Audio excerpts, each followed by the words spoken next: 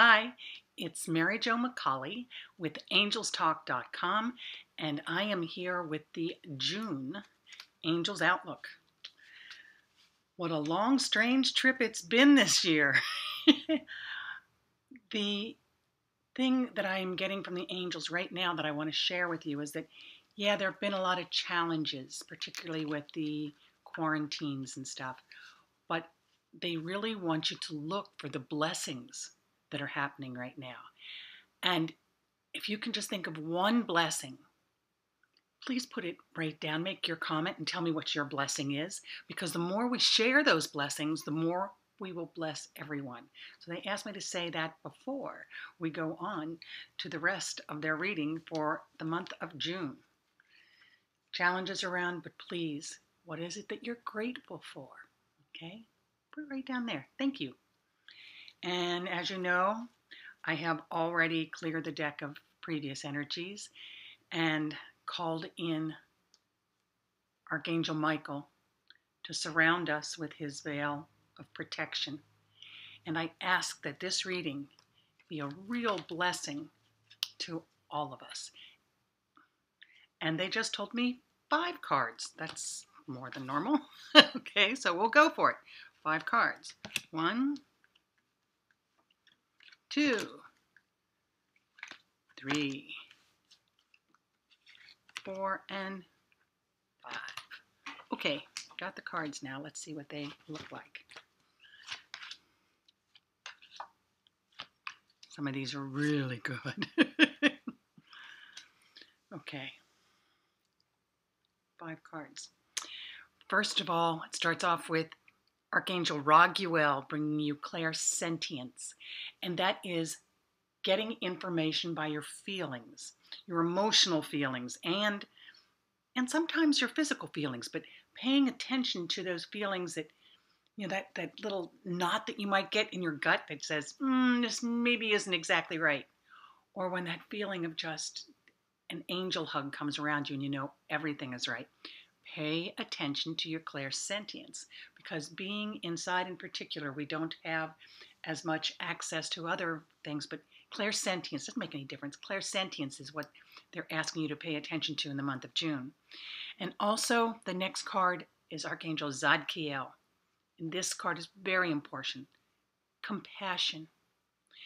Compassion for everybody that's what they're going through. There are so many people that are in really challenging biggest challenges of their lives, um, financially, emotionally, spiritually. Have compassion for them, but also have compassion for yourself. This is, like I said, this is a bit challenging. This is a a little extra challenge that we've been given. It's a gift, but have have compassion for everybody in each of their own individual situations. The middle card, the third card, it's Archangel Raphael who is bringing healing to this whole situation. And the card is breathe. Breathe. Don't get caught up in all of the stuff that's on the news. Breathe. They told me also that we are to go inside our doors so we can go inside ourselves. And so go inside and breathe. Breathe all the deep breaths and exhale slowly. Whatever it is you don't need. You will find that when you do that, you'll breathe in Archangel Raphael's energy and you'll exhale everything you don't need. And then we got a great one because we have had all this time to not be busy with matters of consequence. And Archangel Uriel comes in with the fourth card. Brilliant idea. Pay attention to the ideas the epiphanies that you're getting. There's a reason that they're coming.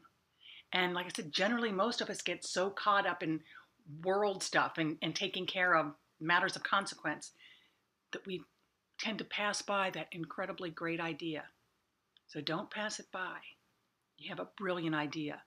And finally, it's Archangel Chamuel that's coming in finally, because the ultimate thing with the clairsentience, the compassion, the breathing in Raphael's energy, and getting brilliant ideas. The final one is peace. from Archangel Chamuel. And isn't peace what we're all really, really looking for? Peace comes where remembering comes from remembering that only love is real. Only love. So realize clairsentience, compassion, breathe, brilliant idea will all bring peace. Okay, that's a great reading for this month. And I had a little analogy that it recently was shared with me that I'd like to share with you that I think is great too. And this is not with the reading, but I think it's great. Um, there was a group and, and a whole group of students, and the teacher had him around and said had all these cups on his desk, all different kind of cups. He said, "Go up and get yourself a cup and pour yourself some uh, coffee." So they went up, got cups. There were plastic ones, there were cracked ones, there were ornate ones, there were gorgeous ones. They were all, you know, every kind of cup that you can imagine. And then when each student had their cup, they kind of sort of checked out everybody else's. And then his analogy was very good. He said, I want you to look at your cup. You're all wanting to get the best cup, the prettiest one. But what really makes a difference is what's inside the cup. That is life. It Doesn't make any, then the cup is just to hold the life. It Doesn't make any difference how glorious it is or have people envy what you have. Your life, what it is holding, is your life, and that is the coffee in the cup. Pay attention to your life. Pay attention to what's in the cup. Not that your cup just got a couple cracks in it. okay?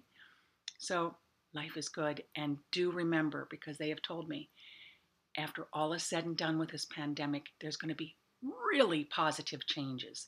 And there's just a few that are being a bit challenging for us to deal with at the moment. But it's still good, okay? Well, that's it. I've rambled on a little bit too long this time. Mary Jo McCauley, angelstalk.com. And if you have a comment, particularly something that you're grateful for, put it right down there, okay?